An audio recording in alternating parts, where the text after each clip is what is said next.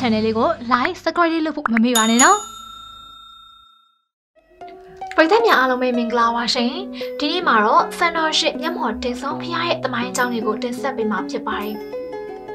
မော်တင်ဆောင်ဖျားကမြမလူမျိုးတွေရဲ့စိတ်ဘဝင်ကိုညှို့ယူဆွဲဆောင်နေတဲ့နေရာတွေကမှတစ်ခုအပါဝင်ပဲဖြစ်ပါတယ်မြမဖျားဘူးတွေဒါမကကဘာလေးခီးတဲ့တွေပါအလားရောက်လဲလည်နေကြဖျားတဆူလေးဖြစ်ပါတယ် ပြီးသူကပညာရက်ကိုစိတ်ဝင်စားမှုကြီးမားသူရဲ့အတွက်မော်တင်ဆုံးဖျားကတွားရောက်လက်ပတ်တဲ့နေရာတစ်ခုပဲဖြစ်ပါတယ်။မော်တင်ဆုံးဖျားကအေယာဝတီတိုင်းပသိမ်ခရိုင်ငပူတော်မြို့နယ်မော်တင်ဆုံးမှာတည်ရှိပါတယ်။မော်တင်ဆုံးကိုတနည်းအားဖြင့်နဂါရက်တောင်တရဏတောင်သို့မဟုတ်နေရပန်တောင်ခေါ်ဆိုကြပါတယ်။စာတင်တေထားတီကနေအခုထိဆိုရင်နှစ်ပေါင်း1282နှစ်ရှိပြီလို့လည်းသိရပါတယ်။ ညမော်တန်ဆွန်စေရီတော်ကြီးရဲ့အန်အောထူးဆန်းဖွယ်ရာကိုပြောရမယ်ဆိုရင်ဖြင့်ဒန္တာရီလာထူးခြားချက်တွေက18ပါရှိပါတယ်။ညအခါစေရီတော်ကိုတယောက်ထက်အထိတ်ထန်ပြီးတော့ခုနှစ်ပတ်ရစ်ပတ်ပါကရွှေတန်းငွေတန်းတွေကြားရခြင်း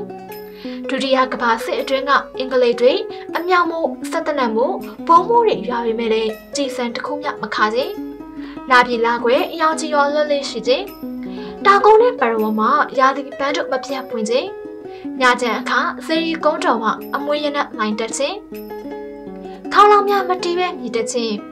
ယခုတတိုင်းရန်ဖယံကစောများဥအောင်မတင်နိုင်ခြင်းနှစ်စဉ်နှစ်တိုင်းဖျားပွဲတော်ဖြစ်ပေမဲ့လည်းခိုက်ရန်ဖြစ်ပွားတဲ့ BND ရဲ့မရှိခြင်းနကြနန္ဒကားတို့ဖျားလာဖူးပေမဲ့လည်းလူတို့ကိုဒုက္ခမပေးခြင်းလာပြေလာခွေမှာစေရီကုန်းတော်ကမောင်းတန်ပုံတန်စားတဲ့ဒရိယာအမျိုးမျိုးရဲ့အတန်ကိုအာယုံဦးမှာကြားရတခြင်း ဘေးအန္တရာယ်တွေကြားရောက်ပါကဇေယော်ကြီးကိုအာရုံပြုဆူတောင်းလိုက်ပါကဘေးအန္တရာယ်မှကင်ဝေးခြင်းတပေါင်းကပွဲတော်ကြီးဖြစ်ခါနီမှာကြီးရုပ်ကြီးများအမျိုးမြင့်မသိတဲ့ငှက်အုပ်ကြီးများတောင်တော်နဲ့ဇေယော်အားပြန့်ဝဲကြခြင်းဖျားပွဲတော်မှာလူအပေါင်းသိန်းသန်းချီရောက်ပေမဲ့လည်းတောက်တုံးရီကန်တွေကရေရီရောနေသွားခြင်းမရှိစေဖျားပွဲတော်မှာစွန်းတော်တဲ့တောင်ပုံရာပုံဆွတ်ထားပေမဲ့လည်းကြီးတကောင်ညအားရောက်စားတောက်မှုမရှိစေ ဖျားပွဲတော်မှာလူအပေါင်းသိန်းသန်းချီရောက်ပေမဲ့လေတောင်တော်မှာလူပြည့်သည်ဟုမရှိခြင်းယုံကြည်စွာဖြင့်စေရောရှင်ပြမသစ္စာအတိတ်ထံကပတိစိတ်ပါကရှင်ပြတော်မှညီဟိန်တန်ကြားတခြင်း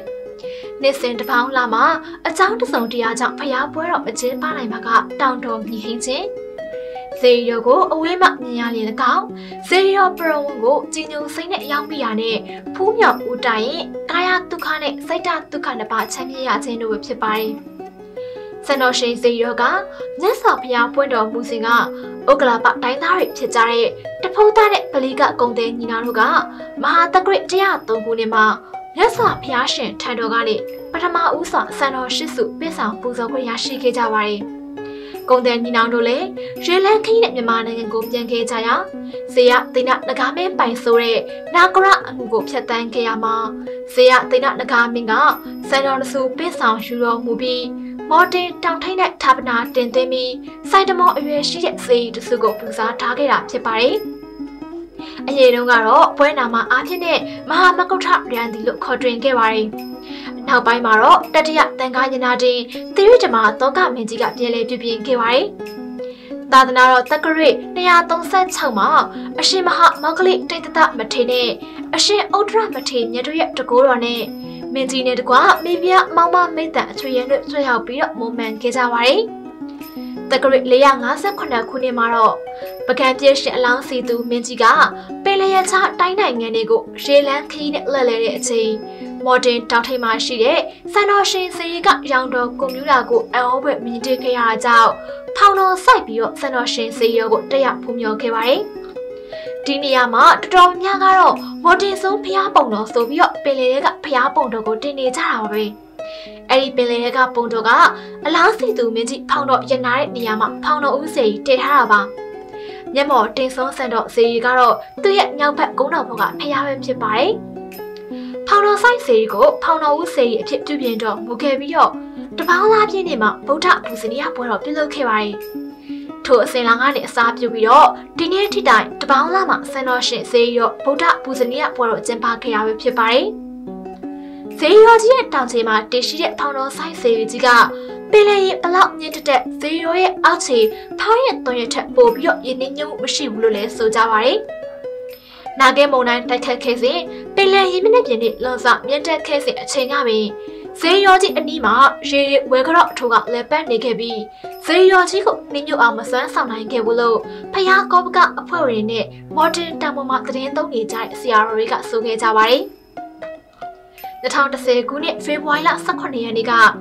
မော်တင်ဆုံးဖျားနဲ့အတန်းငယ်ဝေးကွာတဲ့ငွေတောင်ဖျားမှာရောင်ကြီးလှပ်ပြီးတော့ငကာမင်းလက်ရဖူးမြော်တဲ့ဆိုတဲ့သတင်းကြောင့်မလို့ဖျားဘူးတွေပို့ပြီးတော့စိတ်ဝင်စားခဲ့ကြပါတယ်ဖျားပွဲတော်ကိုနှစ်စဉ်တပေါင်းလာဆန်တရနေ့ကနေတပေါင်းလာပြည့်နေ့အထိစီကားတိုင်းမြိုက်စွာကျင်းပလေးရှိပါတယ်အင်္ဂလိပ်တက်ကလေးအရဖေဖော်ဝါရီလနဲ့မတ်လအတွင်း၌ဖြစ်ပါတယ်တနေ့မှတလားပဲဖျားပွဲတော်ကျင်းပတာမလို့မျက်မှော်တင်ဆောင်ဖျားပွဲတော်ကိုမရောက်ဖွင့်သွားတင်ပါတယ် ဖျားပွဲကျင်းပချိန်မှာတွားရောက်ဖူးမြော်ခဲ့ရင်တော့ပသိမ်မြစ်ရဲ့ကပလီပင်လယ်အတွင်းပေါင်းစည်းစည်းဝင်သွားဖို့နဲ့ဝါတင်စွန်အမှုကိုလည်းထင်ရှားစွာတွေ့မြင်ရမှာဖြစ်ပါတယ်။စိတ်ဝင်စားစရာအကောင်းဆုံးအချက်ကတော့ဖျားပွဲကျင်းပတဲ့အချိန်ကလွယ်ပြီးတော့တစ်နှစ်ပတ်လုံးရှင်ဝတ်နေရပဲဖြစ်ပါတယ်။ပွဲတော်အချိန်မှာပင်လယ်ရေကဖျားရည်မြင်တော်ကနေကောင်းစွာလုကင်းတဲ့နေရာကိုရောက်ရှိနေပါတယ်။ဖျားပွဲပြီးရင်ပြီးစဉ်ကမ်းခြေကိုပင်လယ်ရေအနှဲငယ်တက်လေးရှိပါတယ်။ ဒါကြောင့်မလို့မော်တင်ဆုံးဖះကပင်လယ်ထဲမှာရှိတဲ့အောင်ထင်ရတာပဲဖြစ်ပါတယ်။မြမပြရရက်ကဖះဘူးတွေကလည်းတင်မောတွေကားတွေနဲ့လာရောက်ကြည်ညိုကြပါတယ်။မော်တင်ဆုံးဖះပွဲတော်ကြီးကဖះဘူးရုံတက်တက်တာမဟုတ်ဘဲနဲ့လေဘက်စရာလေလာစရာအပန်းဖြေစရာတွေနဲ့ပြည်နေတဲ့ဖះပွဲတော်တစ်ခုလည်းဖြစ်ပါတယ်။မနေ့ပိုင်းမှာဖះရှင်ကိုရီမန်းအာယုံစွန်းနေကတ်ချင်ရင်တော့အာယုံစွန်းရောင်းချရဈေးဆိုင်တန်းနဲ့များစွာရှိနေပြီး ပွဲတစ်ပွဲကိုတစ်ထောင်ချက်ကနေ9000ချက်ခန့်ရှိရဖြစ်ပါတယ်။စေရောကြီးမှာအခမဲ့တဲကိုစရာနေရာများစွာကိုစီစဉ်ထားရှိပြီးကုန်းတော်ပေါ်မှာအိတ်ဆက်ဖို့ဖြားတွေကိုလည်းအခမဲ့ငားရနိုင်ပါသေးတယ်။ရေချိုးရဲ့နေရာတွေကိုလည်းအခမဲ့စီစဉ်ထားရှိပေးထားတရားပဲဖြစ်ပါတယ်။မိသားစုလိုက်ငိမ့်ချမ်းစွာတဲခုလိုရဲဆိုရင်တော့ဟိုတယ်အစ်စ်တဲခုရနေရာတွေအပြင်ဂုံးတော်ပေါ်မှာယာယီတဲခုဆောင်နေလည်းရှိပါတယ်။ ဈေးရောကြီးနဲ့အလံမွေးမှာနက်တောင်နဲ့အကြားတောင်ဆိုတာရှိပြီးတော့တောင်တော်များပေါ်ကဖျားတွေကိုလည်းတွားရဖူးမြော်နိုင်ကြပါသေးတယ်။နက်တောင်ကတစ်ဆင့်အနောက်ဘက်အရှိုးမြောင်းတွေနိုင်ဝက်ခတ်တွားရောက်ပါကရှင်းနေပေါင်းများစွာတွေကတည်ရှိနေတဲ့တကြိမ်တကားမြရင်မခမ်းဘူးတဲ့နေရင်းတွင်လည်းရှိပါတယ်။ယုံကြည်စွာတောက်သုံးခြင်းယောဂပြဖြစ်ပွားတဲ့နေရာတွေကိုတုံလင်းခြင်းပြုမယ်ဆိုရင်ယောဂဝိညာဉ်တတပျောက်ကင်းတယ်ဆိုပြီးတော့လည်းဆိုကြပါတယ်။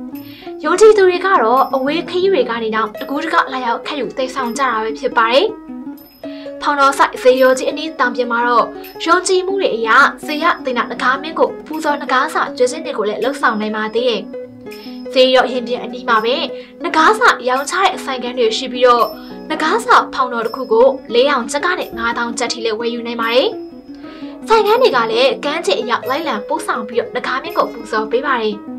ဒါအပြင်မော်တင်စွန်တောင်ချေကားနဲ့ကမ်းခြေအတိုင်းဆိုင်ကယ်ရစ်မော်တော်ယာဉ်တွေနဲ့တောင်ပြင်တွေတခြားနိုင်ဝက်ခတ်သွားလာပါက